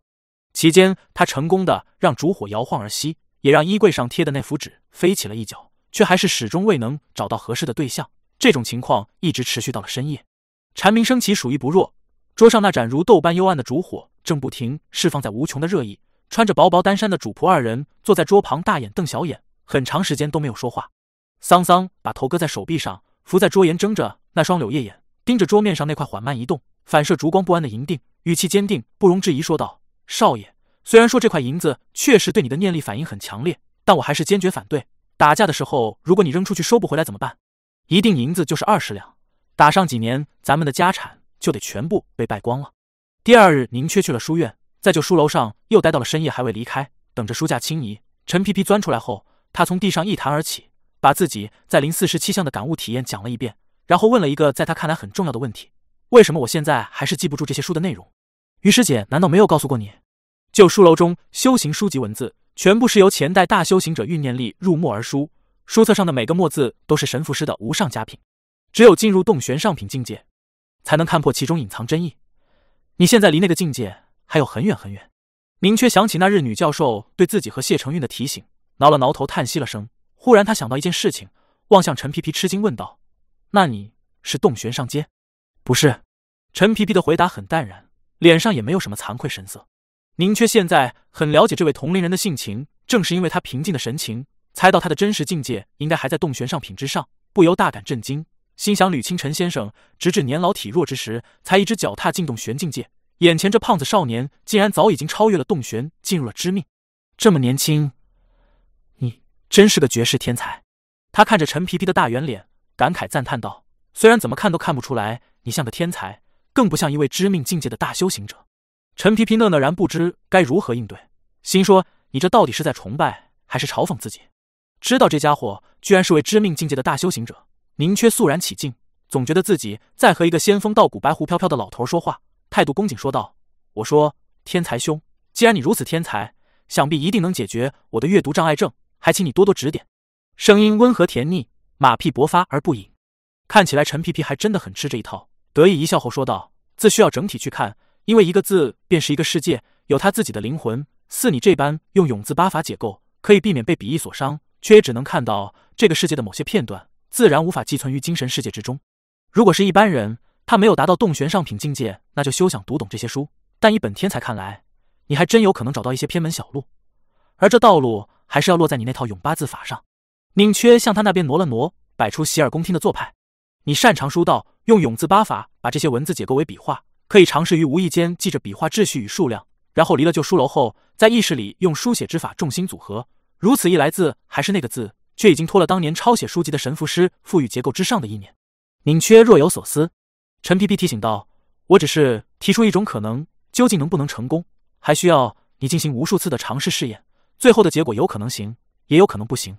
有个方法尝试一下，总比什么路数都没有要好。宁缺忽然想到昨夜按照陈皮皮教的法子做的尝试，兴奋站起身来，取出火石点亮备好的一根蜡烛，然后把蜡烛放到西窗案几上，又退回原地，说道：“你看看我的修炼成果。”话音落处，只见他右手中时，二指并成一剑，潇洒挥臂，遥遥刺向桌上那盏烛火。念力渗出体外，控制着天地元气，随指尖无形而去。没有什么雷霆之声大作，也没有天地大动六动。桌上那盏暗淡烛火轻轻摇晃了几下后，迅速重新恢复平静，仿佛只是被西窗缝里漏进来的几丝夏风吹动了下。陈皮皮皱了皱眉头，沉默片刻后，摇摇头说道：“若苦修一夜，与院内诸物感应，终于练出了这等本领。”结果却只换来了同伴淡淡一个弱字。虽说知道对方乃是修行道天才，自己现如今的境界在对方眼中就像桌上烛火一般暗淡不屑看，但宁缺难免还是有些不爽。他掏出一块雪花银，重重拍到二人身前的地板上，极其恼火，说道：“你先看看这个，再做评价。”片刻后，陈皮皮瞪大了眼睛，盯着地板上那块缓慢颤抖移动的银锭，不可思议说道：“这感应不错。我说你究竟是有多贪财，多喜欢银子？”宁缺强行压抑住心头得意。揉了揉因为念力输出过猛而发闷的眉心，尽可能语气平静，毫不在意说道：“我这可不是贪财，银子兄是知道我联系他们。换句话说，这些银子是知道你抠门，舍不得把他们花出去，所以才会对你的感知投以欢欣雀跃的回应。你这不只是弱，简直是弱爆了。”陈皮皮嘲笑看着他说道：“你如果想把银锭培养成自己的本命物，也随你。虽说以前好像没见过哪位修行者这么玩过，不过我必须提醒你，你已经把吃奶的劲儿都使了出来。”这块银锭也只能像白屈死之前那般挣扎两下，能有什么用？又是半夜时间虚度，陈皮皮从旧书楼返回后山，踏过被雾气笼罩的石径，想着自己在那个家伙上浪费了宝贵的修行时间，不禁有些唉声叹气。石径前方夜雾忽散，一个高旗身影突兀出现。虽然此时夜色深沉，视野极暗，但依然可以清晰的看到此人乌黑的头发被梳得异常整齐，腰间金丝编织的缎带没有偏上一分，头上那顶颇有古意的官帽像电檐般纹丝不动。这几日。为何你夜夜去旧书楼？那楼里哪本书你还记不住，非得漏夜观看？不要告诉我，你又是去查什么古咒里典籍？陈皮皮看着自己最敬畏的二师兄，苦着脸长揖一礼，如实禀报道：“师兄，我去旧书楼是因为在前院认识了个朋友，所以去陪他说说话。”嗯，二师兄轻应一声，赞赏说道：“君子相交在乎诚，不分境界贫富。虽是前院同窗，但也是同窗。你能克服贪睡好吃的毛病去陪，值得奖赏。只是你应该记得书院的规矩。”有些不该说的话，最好不要瞎说。哪里能够？陈皮皮仰着脖子叫起了暴天区。我胆儿多小，二师兄你还不知道？我哪里敢对前院同窗们透什么风声？也就是聊些术科题目。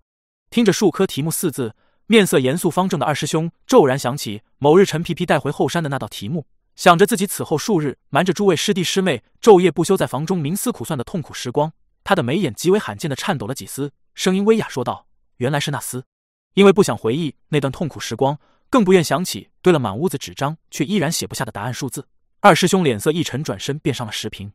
陈皮皮却是想到一件事情，加快脚步追上去，气屁颠屁颠跟着二师兄的脚后跟，气喘吁吁说道：“二师兄，有件事情，我想请教一下你。什么事？有个家伙修行潜质极差，气海雪山十七窍只通了十窍，十四天前才勉强能够感应到天地之息，进入初识之境。可现在他就莫名其妙能够感知外物了，甚至一只脚已经踏进了不惑，算不算天才？”二师兄骤然停下脚步，回头冷冷看了陈皮皮一眼，猜到他说的便是那位前院少年同窗，蹙眉片刻后，语气极为肯定回答道：“这样当然不算天才。为什么？十四天就能从初识进入感知，再进不惑？世间不可能存在这样的天才，这种人只可能是怪物。因为本天才当年完成这些流程也花了十五天时间。”二师兄说这番话的时候，脸上没有任何得意骄傲情绪，但言语里隐着的意思却是骄傲自信到了极点。他自己花了十五天连破三境，那么这个世界上便不可能有人用不到十五天的时间完成相同的事情。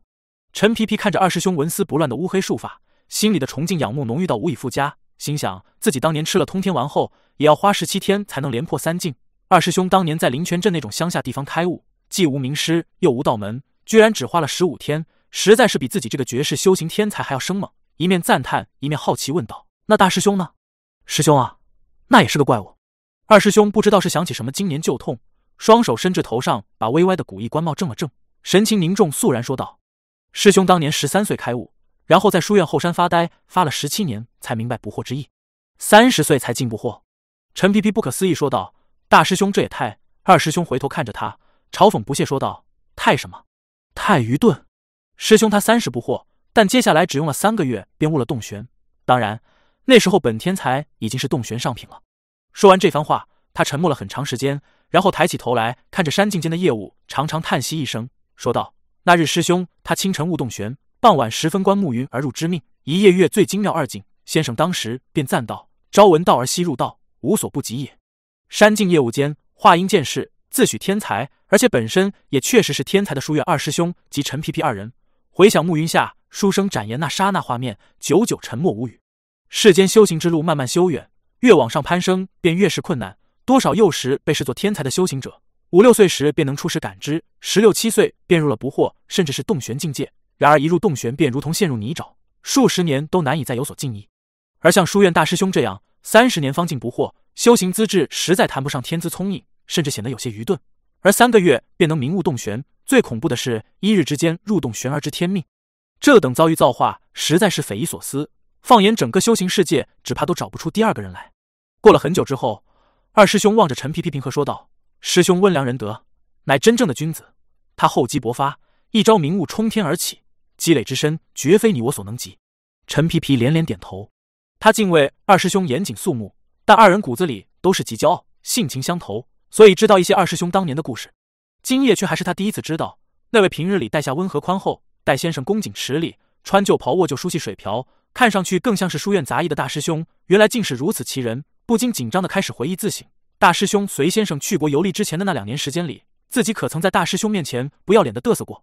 第一百二十九章被书院遗忘的少年，跟着二师兄走过石屏，顺着山间另一道石径穿雾上行。陈皮皮用了很长时间才把大师兄给自己的震惊消化干净，然后脑子里忍不住不停思考最开始那个问题：二师兄用十五天时间连破三境，我用十七天，宁缺那家伙只用了十四五天，难道他真的和我们差不多？还是说，他从出生那天起就开始苦苦冥想，所念力存于大脑之中，如今逆天改命通窍，那些念力喷涌而出助他连破三境。这时间要从他生下来那天算起。可如果这么算，师兄憋了十六七年才憋进了不惑，他今年十六七岁，也算是憋了十六七年，怎么感觉好像也很了不起？想着就书楼间宁缺大言不惭的那句“谁也不知道日后谁在这条路上走得更远些”，想着书院大师兄、二师兄，还有自己和那个家伙之间的隐隐比较呼应。陈皮皮胖胖的身躯微微一颤，大惊失色，想到如果日后让那个白痴超过自己，怎么了的？七海雪山十七窍通了十窍，就算他十六年积累下来的念力再纯再厚实，也只能吹出一首暗哑枯涩难听的破歌。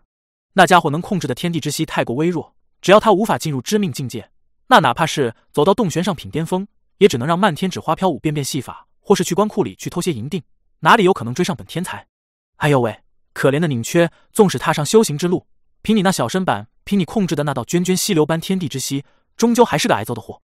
想通了此劫，陈皮皮心意大为舒缓，笑着想到明后日还是要提醒下那厮，不然他真以为自己是修道天才，就去搞三搞四，被真正强者灭掉，那可不美。师兄弟二人走到居所之前，二师兄离开之前，忽然问了一句：“真只用了十四天？”陈皮皮低头扳着手指头，认真算了起来，想着那天夜里看见垂死的宁缺，不知道应该从那时候还是更早些算通窍，还是说要在自己为他吃了通天丸才算通窍？关键是看他雪山何时重塑。抬起头来，恭敬说道。有可能十四天，也有可能十五天。如果他是清晨觉醒，那就应该算十五天半了，差不多便是这个日子。二师兄严肃盯着他的眼睛，说道：“师弟，男儿生于世间，岂可浑噩度日？须知严谨二字，乃是处事不宜，必备修养。四便是四，五便是五，哪里能用差不多来推搪？你这两日去弄明白，那个家伙破三境究竟用了多少天？这也算为兄对你的考验。”说完这番话，他将双手拇指塞进金丝腰带里，扶着腰一步三摇。缓慢而庄重，向自己居所行去。夜色里，隐隐听着勾及轻微的话语。我就说，不可能是十四天吗？别看能把太上感应篇倒背如流，在未成时无时无刻不在冥想。就算旅途中吕清晨老人给他讲过很多东西，就算和陈皮皮在旧书楼里交流了很多次，宁缺对于修行世界的了解依然少得可怜。他不明白自己为什么忽然间就能修行，更不知道自己现在究竟是个什么境界，还处于不知其然，更不知其所以然的浑噩状态之中。他不知道自己修行的速度曾经困扰过陈皮皮，甚至是书院的二师兄，以为能够感知天地之息，然后感知外物，是踏上修行路后很自然的发展过程。自己就像世间那些深山道门、佛寺里的修行者一样，并没有什么特殊之处。书院里的生活，书舍同窗们的态度，也给了他强烈的心理暗示。随着时日渐移，那次期考并退造成的余波渐渐散去，却又真正开始显现效应。巷角窗畔，没有多少人汇聚在一处，遥遥对他指指点点，而是根本没有人愿意再关注他。他现在基本上不参加社育书了四科学习，前三者是因为没有必要学，乐科则是因为学了也没用，于是没有期考的日子，自然也没有什么机会让他替前番蒙受的污蔑雪耻，或者说证明。书院是一个群体，群体意识盲动而持久，学生们不便当面嘲讽，便学会了刻意无视宁缺。正兴奋讨论时，见着他便会默然住嘴不言，有何聚会也不会去唤他同去同去，逐渐便有了一层无形的隔膜横亘在双方之间，因为这层无形障碍。那些本有些相信他的同窗，也不便违逆众意与他重新亲近起来。者游贤对他态度倒一如往常，但因为宁缺经常夜宿旧书楼，者公子又经常逃学，二人见面少了很多。至于司徒依兰，他知道殿下欣赏宁缺，从而坚信宁缺当日期考不是托病避战，却也没有办法在这种气氛里替他说太多话。宁缺的性情也不会允许他放低身段去祈求亲近。既然无人愿意理会自己，他听到散钟便会快步离开书舍，去灶堂打翻外带。绕过池塘去就书楼观书会议，如此一来，他与书院同窗们接触的时间越来越少，愈发互不对眼，相视陌路。就这样，那位曾经在入院室里考出三科甲上震惊全场的边城军卒，那位入二层楼苦修把谢承运逼至吐血的拼命学生，那位在红袖招内风光无限的潇洒少年，渐渐泯然众人矣。甚至说的更准确一些，应该是变成了被书院遗忘的对象。现在书院年轻学生们谈论的话题，集中在临川网瘾做了一篇精妙文章。阳关才子钟大俊又做了一首佳词。数科里那名叫陈思邈的学生，前日突破了感知之境，已设一位军部推荐生。昨日居然在社科上赢了教习。司徒小姐又把楚中天骂了。那位卓然众人的南境才子谢承运，自然还是书院无数目光的焦点。在期考里拿下五科甲上之后，他又为书院奉献了两个震惊话题：一则是在夏末某夜，有人看到他与大唐继九孙女金无彩依偎于湿地畔的石凳上；另一则是数科里传来消息。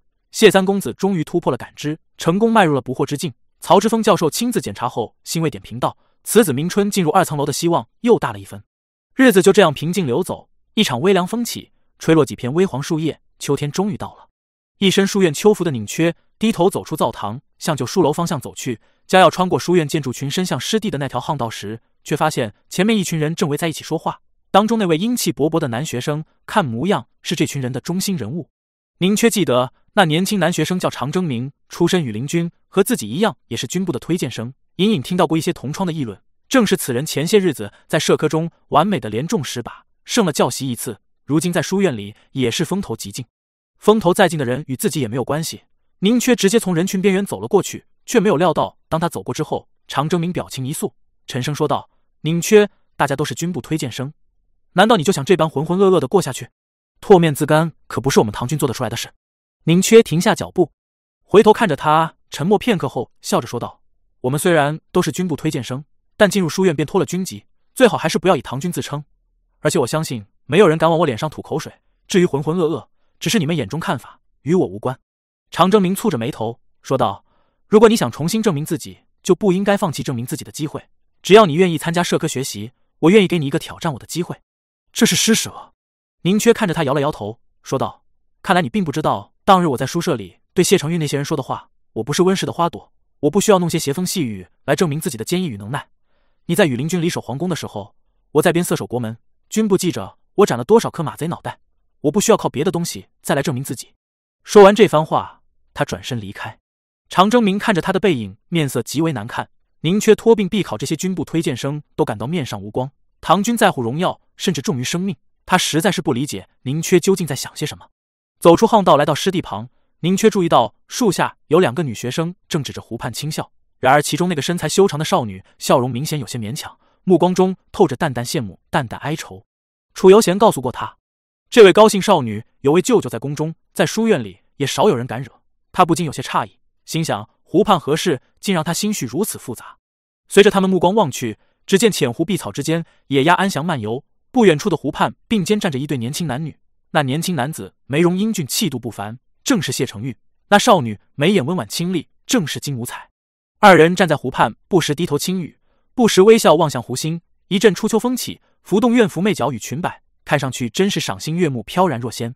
校园里令人羡慕的神仙情侣，远处旁观少女深埋心底的微酸情意。宁缺静静看着湖畔的人，看着看湖畔人的人，笑着摇了摇头，再次离开。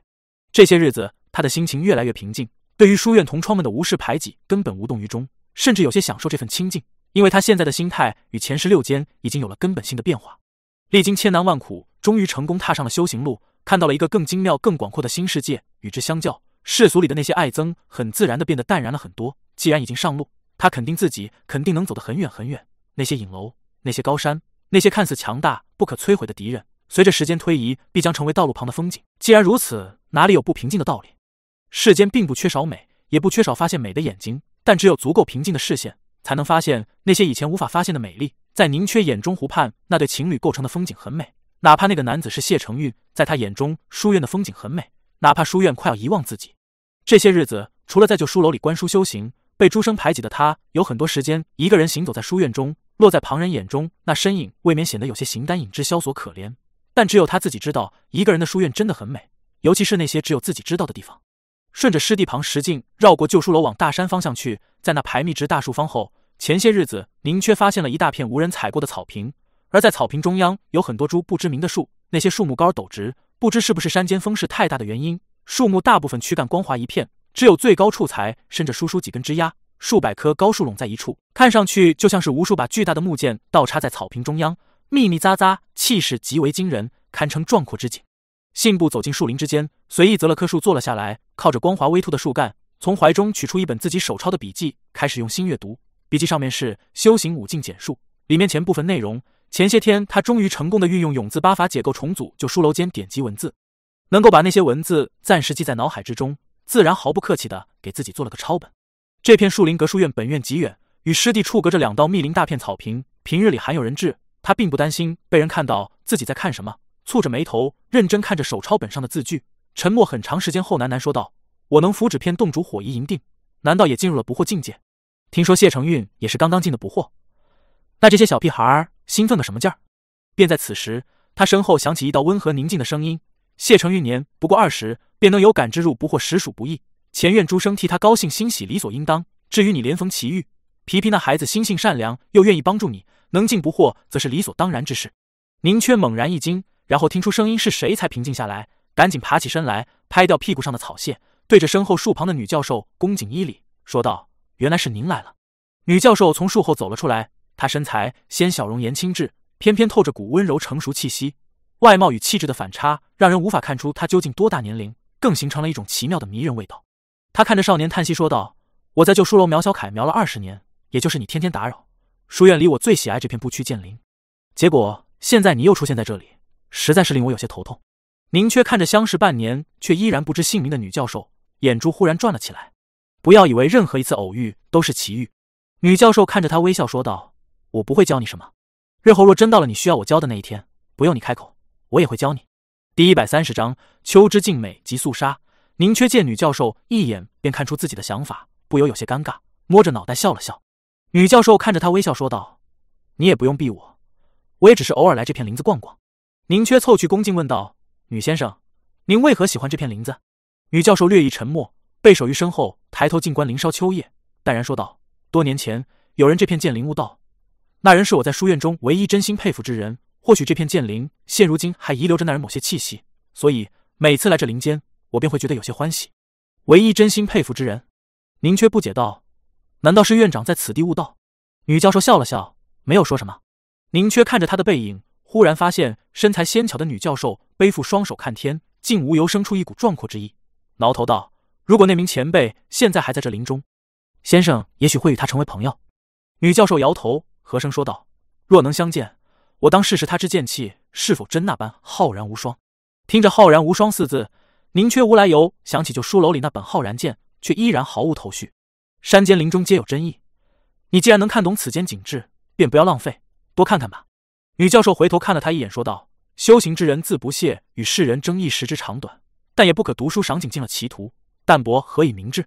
明年秋日，你们这届学生里的唐人便要赴边塞实修，这一年间你便要把基础打扎实些，不然若在战场死了，岂不可惜？”宁缺诚挚行礼受教。忽然想到他话语中那个词，好奇问道：“先生不是唐人？”女教授摇了摇头，轻柔踱步向林外走去。宁缺看着她仙丽动人背影，问道：“先生，学生还不知您名讳。”“我叫于莲。”“于莲，这真是一个普通甚至有些俗气的名字。”宁缺心想：如此气度的书院女教授，怎么会有这样一个名字？忽又想着这些日子里那个疑问，忍不住鼓起勇气，大声问道：“先生，敢请教贵庚？”于莲微微一笑，没有停下脚步，也没有回头。在林畔轻声说道：“如果我记得的不错，向一女子询问年龄是非常没有礼貌的事情。”宁缺看着消失在林外的女教授身影，自嘲一笑，想着：如果不是您清致外表看着像是十六岁，温柔婉约气度看着像三十岁，自己哪里会想到问这个？秋日景美，天高云淡，令人心旷神怡。曾临近染染红了少女脸上微羞的胭脂，晨霜初降冰清了世人蒙尘的心。宁缺平静在书院中学习修行，不再像以往那般急迫渴望。慢慢的，逐渐了解修行的世界，耐心无数遍尝试凝念，与烛火纸张银锭不断亲密，并不着急寻找到属于自己的本命物。偶尔与楚游闲说几句闲话，与司徒依兰站在书院学生注意不到的角落里交流数科问题，用流言与陈皮皮互相贬损。偶尔深夜则带上两碗蟹黄粥，与对方当面交流。没有仇恨，没有鲜血，只有学习与等待。他等待着自己实力慢慢提升，等待敌人渐渐放松老去。他在秋天里等待冬天的到来，过了冬天便是春天。春天的时候，书院二层楼便要开始进人了。而明年的秋天，他则要重新回到边塞。四岁柴刀杀人之后，他终于有了时间去生活，而不仅仅是生存。在日后的回忆中，除了没有桑桑的身影，这段书院时光甚至可以说是他生命中最平静幸福的日子。大唐与燕国边境处的群山也迎来了秋天。驻守在山谷土原间的两国边境部队没有办法感受到任何平静幸福。虽然已经好些年没有大的战事，但驻守边疆本就是苦差事。此间偏北。一旦入秋，便气温急降，众人喝气成双手被冻得通红，看着满眼簌簌落叶萧瑟画面，哪里有欣赏秋景的念头？清晨时分，有两名穿着燕国服饰的男人越过边境，走进大唐军营。此地驻守着大唐最强悍的边军，又是镇军大将军中军营帐所在之地，防御检查极为严苛。那两位中年人拿着军部刊发的密牒手印，用了极长的时间才通过了军营的层层检查。走进情报司在营地里的房间。二人中稍年轻一人回头看了一眼不远处那顶雄伟的中军大帐，目光落在大帐顶端飘扬的军旗上，寒冷目光一闪即逝。进入帐篷，确认没有人偷听。另一位中年人冷冷看着同伴，低声训斥道：“从长安城弄到大唐军部的密牒手印，朝廷不知牺牲了多少利益。今日行刺只能成功，不能失败，万事需谨慎。你先前就不该看边一眼。”年轻燕人脸上满是不屑之意，说道：“不过一屠夫耳，难不成我远远看一眼？”便能让他感觉到有人想要行刺。天底下想杀那屠夫的人不知多少，但他一直都没有死。中年阉人冷漠看着他，说道：“这里距离中军营帐的距离，经过枢密院精确计算，足以发起偷袭。但你有没有想过，我们能偷袭他，他难道就不能感知到我们的存在？不用过于小心。”年轻燕人不服说道。便在这时，中年燕人面色巨变，不可思议望向帐篷外。此地虽然距离最近的凉州州府并不算太远。但因为大唐军纪森严，与燕国交境处更是被看得极严。此番趁着隆冬位置，大军压境威吓敌国，没有任何军官胆敢私自归宿州城。数万边军搭起的营帐竟是连绵成海，而其中军旗飘扬其上，雄壮有若小山的营帐，自然是这数万边军最高将领的中军营帐。营帐外没有任何士卒巡逻，安静的有若长安城王公贵族府里的后花园。帐内的光线极为昏暗，一盏防风油灯悬在帐壁，温柔照着铺满名贵毛皮的便床。十数条名贵毛皮之间卧着位中年男子，那男子穿着一身素色亵衣，眉浓如墨残，唇红如丑血，薄衣之下魁梧身躯有若钢铁，纵是在熟睡之中，亦有肃杀之意。中年男子感应到什么，睁开双眼向帐外某处望去，满脸漠然，目光如电。